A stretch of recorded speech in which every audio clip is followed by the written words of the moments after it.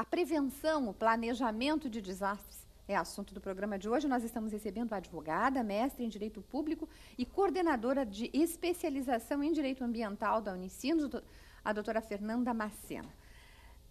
Damasceno. Cortei aqui agora um pouco. Mas assim, no, no fim do primeiro bloco, a gente estava, a senhora estava falando, estava falando uh, né, sobre, sobre o, a participação né, dos municípios, a fiscalização, até como é que isso se dá em termos do se, se fica no poder judiciário. E quanto à questão da vulnerabilidade da, das populações?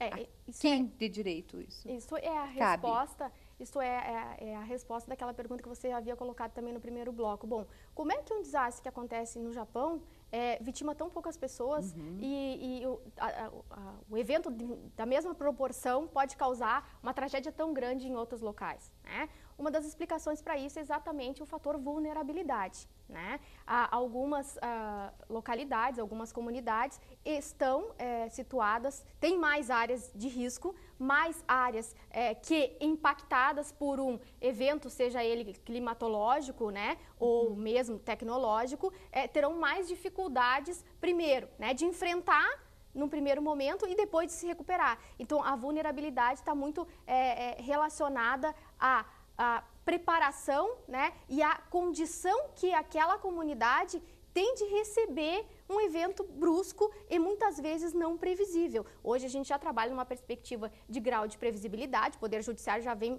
vai trabalhando com isso, porque nós já temos uhum. é, é, grandes centros, né, que nós já temos o CEMADEM, que é o Centro eh, de Monitoramento de Desastre no Brasil, que está em Cachoeira Paulista, São Paulo, funcionando altamente tecnológico, fazendo monitoramento de diversos municípios, inclusive alguns aqui do Rio Grande do Sul. Mas porque algumas, agora você falando assim, né, de monitoramento, mas algumas áreas, nós aqui na região metropolitana, tem áreas que são reincidentes. Sim. Tem pessoas que, que, que, sofreram agora há pouco tempo, há dois meses atrás, e agora de novo com as enchentes. É, inclusive isso já tem sido é, matéria de abordada na, na, na própria justiça, na, em, em, determinadas uhum. situações, é, que tenham levado em consideração como um dos critérios né, para conceder ou não uma indenização a alguém, essa questão da reincidência. Quer dizer, em que pese tenhamos uma lei nova, né, ainda tenhamos que nos adaptar a ela. Né, em algumas, alguns, alguns locais, como por exemplo aqui em Porto Alegre, nós já sabemos que está cansado de ser área de risco.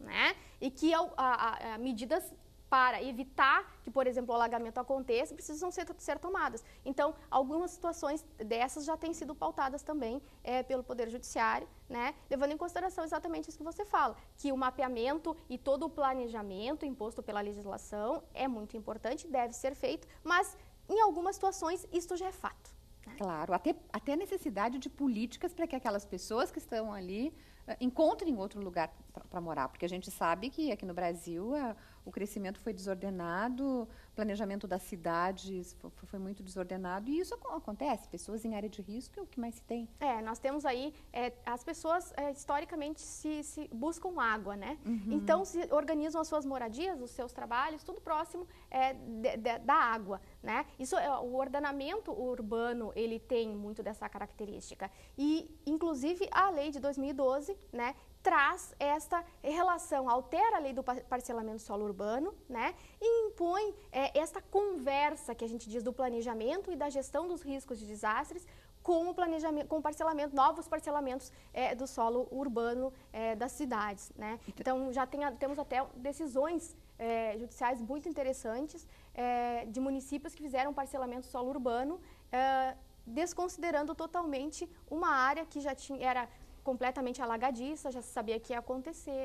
Enfim, são situações todas que hoje, é, aparentemente, talvez, é, para quem está nos assistindo ou quem começa a falar sobre uhum. esse assunto, não, não é tão novo quanto parece. Né? É. Mas Isso pessoas é um que vivem em encostas de morros, por exemplo, que continuam vivendo e que correm esse risco, que direitos elas têm garantidos?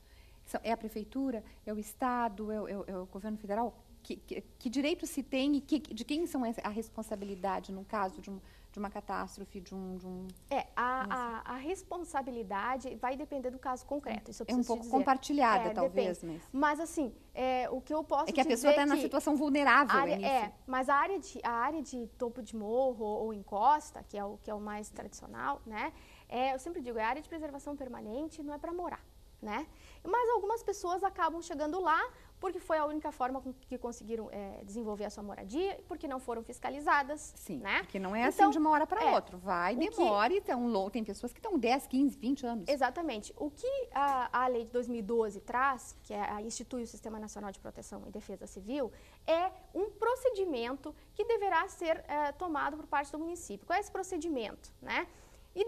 Identificado essas áreas, por exemplo, como você colocou, pessoas que moram nesses, nesses uh, locais uh, que poderão uh, sofrer por deslizamentos, o que, que, o poder público deve fazer? Primeiro, identificou a área, né, fazer um laudo técnico, notificar uh, a essas pessoas, informando que há ali grave risco de vida, tomar dentro do possível, porque aí depende do caso concreto da situação, as medidas mitigatórias, que é o que? Tentar é, proteger aquela encosta para ela não deslizar, enfim. Mas em não sendo possível, né, chegando-se o laudo técnico à conclusão de que é muito alta a probabilidade de deslizamento e as pessoas precisam ah, automaticamente desocupar aquele lugar. O que, que a legislação diz? Que depois de seguido todo esse procedimento, então, o poder público deverá Uh, destinar essas pessoas para um local de apoio no primeiro momento Sim. e imediatamente escrevê-las nos, nos, planos de habitacionais é, com prioridade, né, para reconstruir a sua vida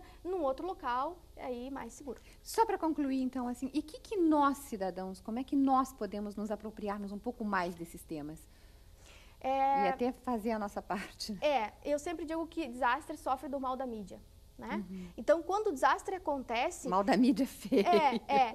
Mas o mal da mídia é assim, ó. O, quando o desastre acontece, a, toda hora aquilo fica sendo é, repetido na televisão, né? Tantos mortos, mais um soterrado, né? É, o prejuízo econômico é astronômico, né? Uhum. E isso dura um, dois dias. No máximo, às vezes, 72 Sim. horas. E tá todo mundo ligado, né? Todo mundo preocupado. Passou isso, baixou a água da, da BR, ninguém mais lembra do desastre. Onde né? que daquilo pessoa, que ele causou, o que, que aconteceu, o que que, o daquilo que ele causou e o que causou ele. E o que devemos fazer, aprender com o erro do passado para investir no futuro e evitar que isso torne a acontecer. Então, acho que, eu acho que um pouquinho mais de atenção do cidadão. Né? Por isso que estamos lhe trazendo agora, nesse momento, obrigada, te trazendo agora, até para poder, assim, se discutir, aonde se discutir um pouco mais sobre isso, né?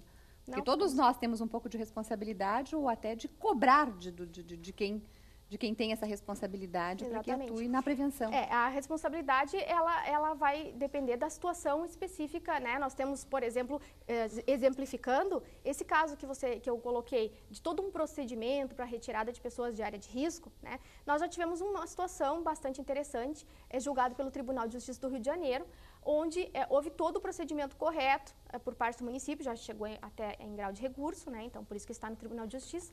E a, as pessoas disseram, não, eu não vou sair daqui, uhum. mesmo sendo área de risco, porque é, fica longe dos meus parentes, não é uma casa de acordo com o que eu gostaria, então não vou, tá não vou sair. Ficaram, sofreram deslizamentos, sofreram danos, buscaram a tutela do Poder Judiciário. O Poder Judiciário disse, Nesse caso, não, claro. porque o município seguiu todo o trâmite legal. Enquanto eu agradeço a tua presença, que o tempo está esgotadíssimo aqui, eu já vou mostrando o livro Direito dos Desastres, quem quer mais informação sobre esse tema, com que também tem a participação aqui, né, que tem escrito que está nas boas livrarias. Exatamente. Muito obrigada mais uma vez, doutora Fernanda. Obrigada a você pela sua audiência. Uma boa noite até amanhã.